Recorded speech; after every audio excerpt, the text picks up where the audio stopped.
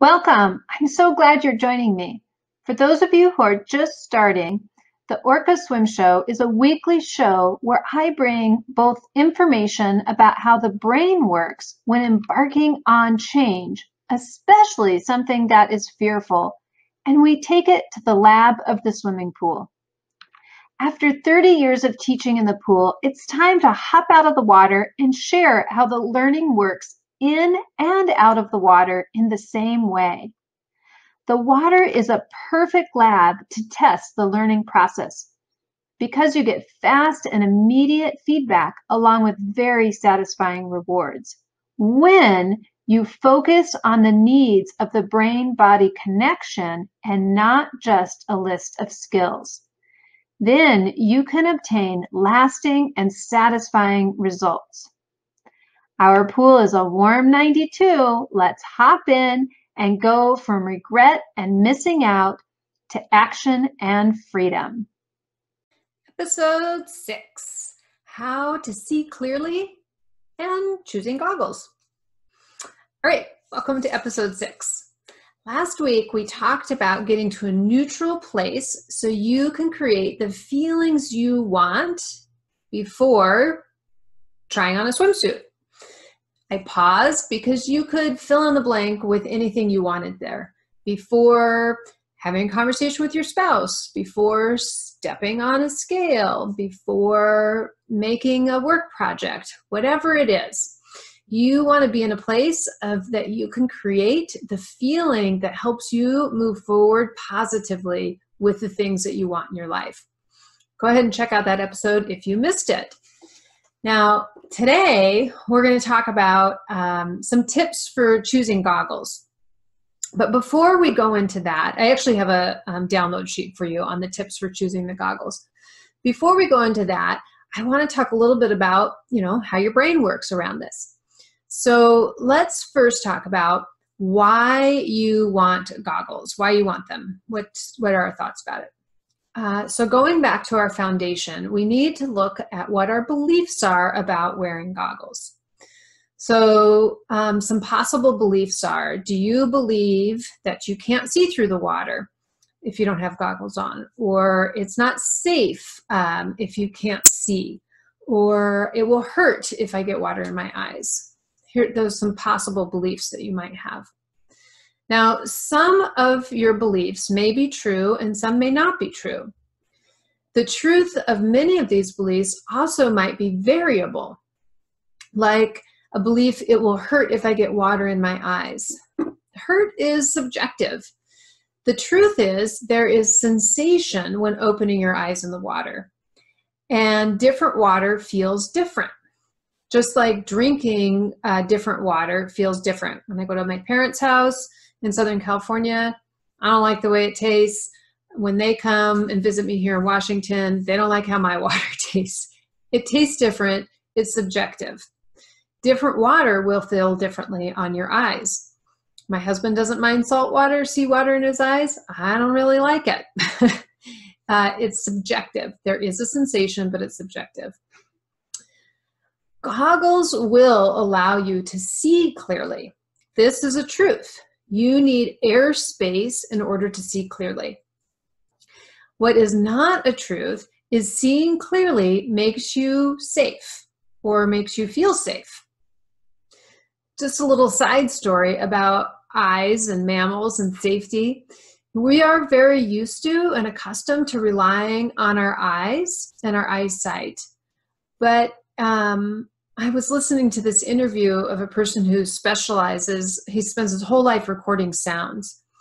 And he it was noted that not all mammals can see, but nearly all of them, I think he said all of them, have some sort of hearing uh, or being able to detect vibrations in the way that we do with our ears. And we as animals don't have ways that we block that off, whereas we do have ways that we block off light. Our hearing is actually more important to us for safety from um, an evolutionary standpoint than sight is, which I found very interesting. Because it does make me think about an example about sight, how sight can be very tricky. Seeing is tricky. We assume that we need to see to be safe. But have you ever had the experience where you are walking along somewhere um, and you're feeling just fine, and then you look down and you realize, oh my gosh, I am at a huge cliff or an edge or a drop off of some sort, and it feels terrible. Um, or even I think about here in Seattle, we have the Space Needle.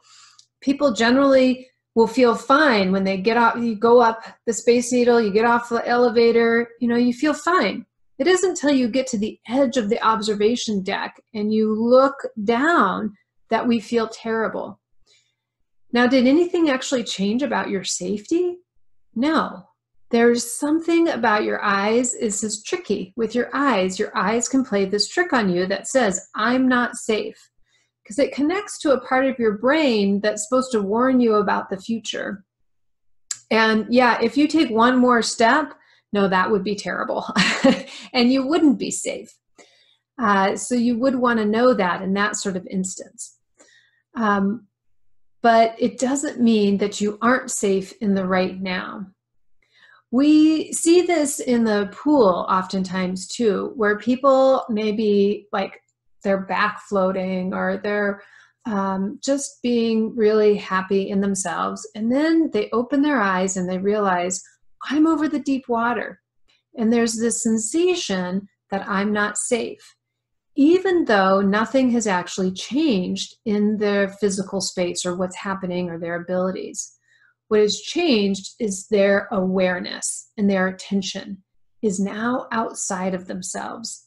And there's a new belief about that.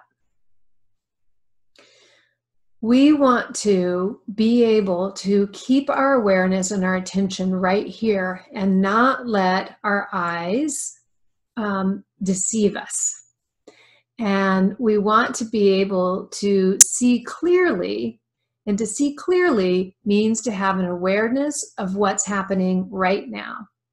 Not in the future, not in the past, but right now.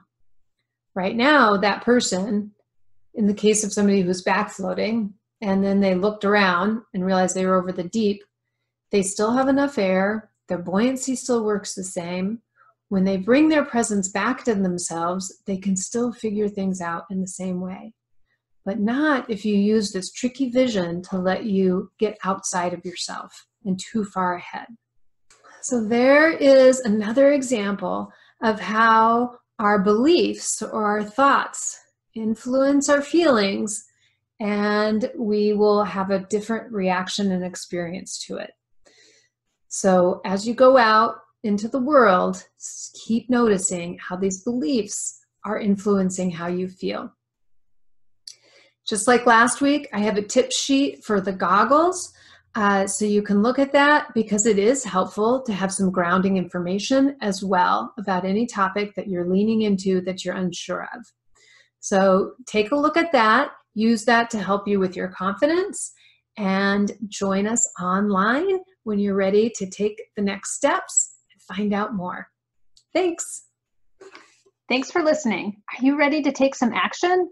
Three ways to the freeway. Subscribe, join a free webinar, get started online where we break down the steps, making them simple, and we support you along the journey. So maybe you'll join us in Hawaii. Jump on over to orcaswimschool.com.